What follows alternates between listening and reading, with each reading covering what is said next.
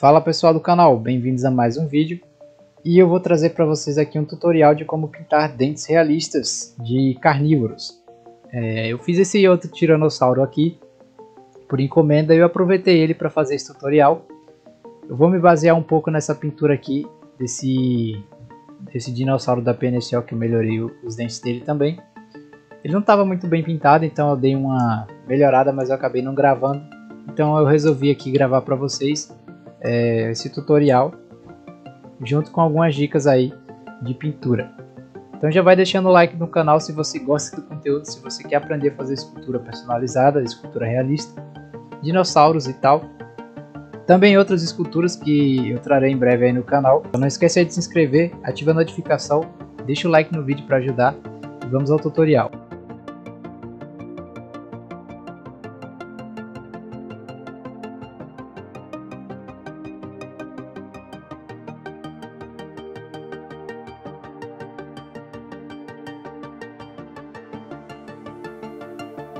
Nós vamos precisar das seguintes tintas: é, marrom, tinta branca, essa tinta amarelo mais escurecido aqui, pode ser amarelo ocre ou, ou mostarda, por exemplo, e a tinta preta. Também vou usar esse pincel mole de ponta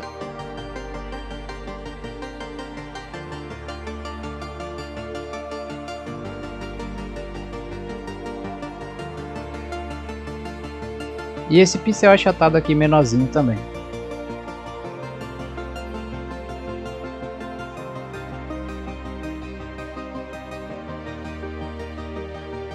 Nós vamos começar umedecendo aqui o pincel e vamos misturar aqui o branco com o amarelo com uma quantidade um pouco maior de branco. Você vai colocar aí na densidade que não fique muito grossa a tinta, mas também não fique tão aquosa. Então ela tem que ficar razoavelmente cremosa e a quantidade de branco vai ser bem maior do que de amarelo. Você vai experimentando para que o dente não fique muito apodrecido, a não ser que esse seja o seu objetivo, deixar o dente um pouco mais apodrecido.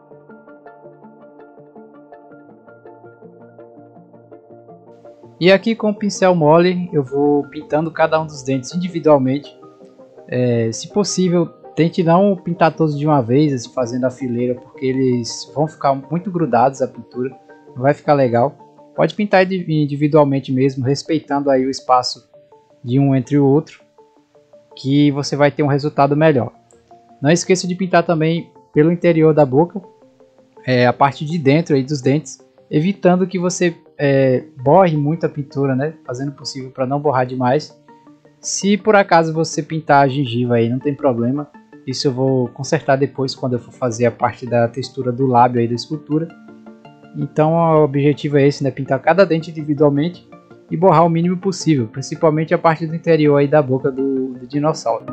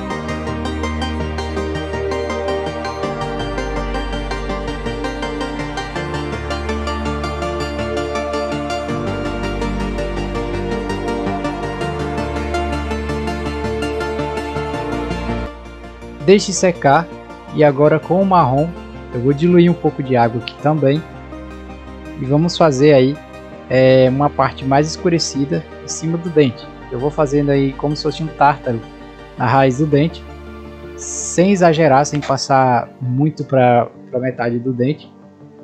Você vai aí fazendo a divisa de cada um, sempre tomando cuidado também para não borrar demais. Se borrar a parte da gengiva aí para cima não tem problema.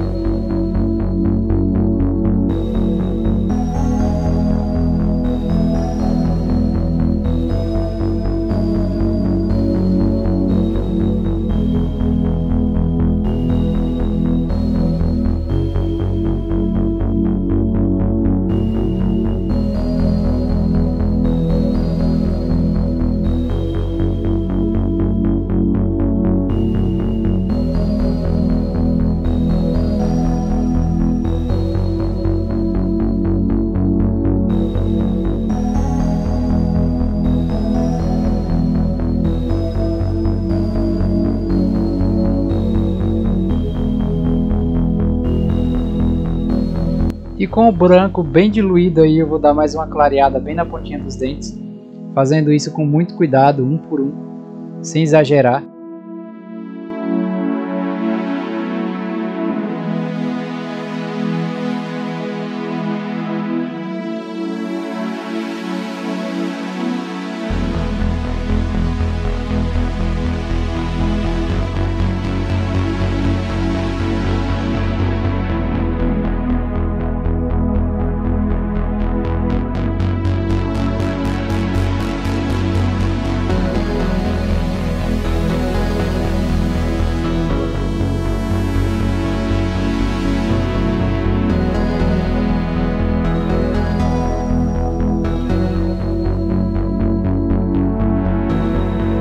Agora eu vou invernizar e adicionar brilho nos dentes com a, o verniz é, que eu ensinei já para vocês a fazer no canal, que é basicamente cola de isopor e álcool misturado.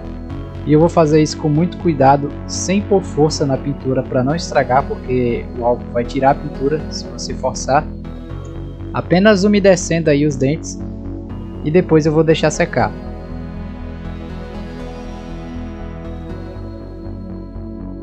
E aqui vocês podem ver o resultado. É, já tem esse brilho aí mais chamativo, né? O dente já está mais interessante, mais realista. E não paramos por aí, vamos fazer agora a pintura do interior da boca. Eu misturei aí o rosa com o branco.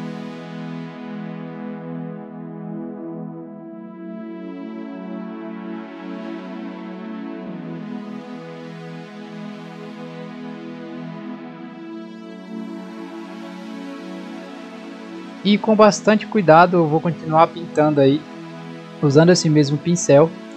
E como eu passei o verniz nos dentes, por isso que é importante você pintar os dentes primeiro. É, a pintura, se você por acaso borrar por cima dos dentes, essa parte aí que você está pintando de, de rosa, né, a parte da pele, é, você pode remover usando o pincel molhado. Você pode esfregar por cima que a tinta do dente não vai sair, ele não vai danificar por conta do verniz. Então por isso é necessário que você pinte os dentes primeiro e depois que você pinte o, a parte de dentro da boca.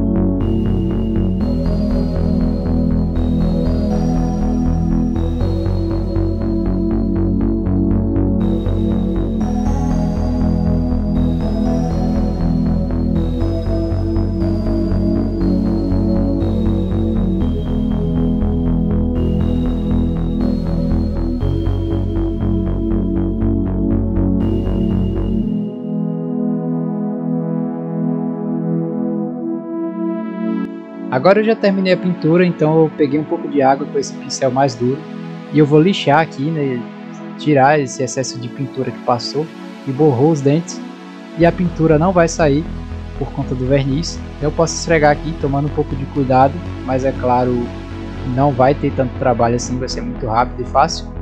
E aí você vai limpando um por um. Se você vê que ficou algum, algum vestígio de tinta rosa aí, você pode ir tirando com a água.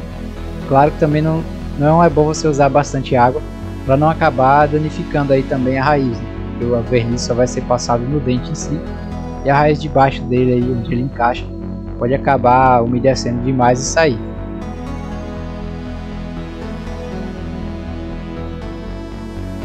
Aqui eu já passei o verniz em toda a parte interior do céu da boca dele também.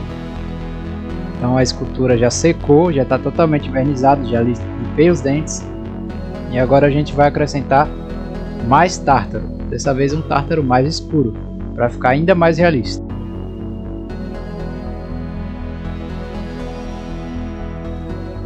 E para fazer o tártaro eu misturei o preto com água, diluí bastante, dessa vez você pode diluir à vontade. E o objetivo aqui, como a boca está envernizada, a tinta não vai sair. Então você vai escurecer aí bem a raiz do dente, passar bem embaixo com o preto. É, dessa vez não tem necessidade de você focar em um dente só, você pode passar direto assim em todos os lados aí e não esquecer de passar por dentro também. Se por acaso você borrar demais o dente, você pode fazer a mesma coisa, faz a limpeza aí com, com um pincel mais duro, umedecido, claro, é, sem exagerar na quantidade de água. Senão você vai acabar tirando todo o tártaro que você colocou também.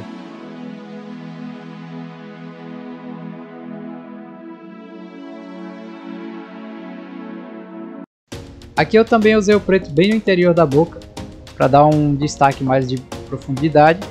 Você pode fazer tanto na parte de cima quanto na parte de baixo, claro que com a tinta bem diluída para não ficar muito escuro. E esse, esse detalhe aí vai enriquecer bastante também é, os detalhes aí da, da sua escultura realista.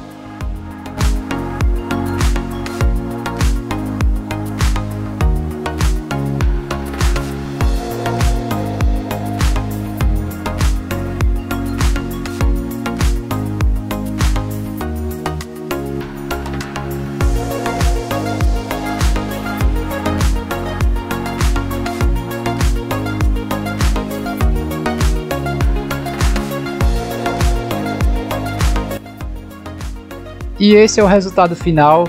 É, eu já passei mais uma mão de verniz aqui. Olha como ficou realista esses dentes. E o tártaro por cima aí, depois você vai cobrir. Essa parte que borrou para cima do focinho não tem problema. Aí vai ficar a cobertura de pele, eu vou fazer os lábios nessa peça. Depois eu vou trazer para vocês essa escultura pronta. É, se vocês querem aprender a fazer articulação, tem um tutorial no canal também. Só dá uma procurada aí, tem um tutorial completo esculpindo o Tiranossauro Rex. Se você assistiu até aqui, muito obrigado, deixa o like, comente o vídeo aí, compartilhe com alguém se puder. E um abraço, até o próximo vídeo.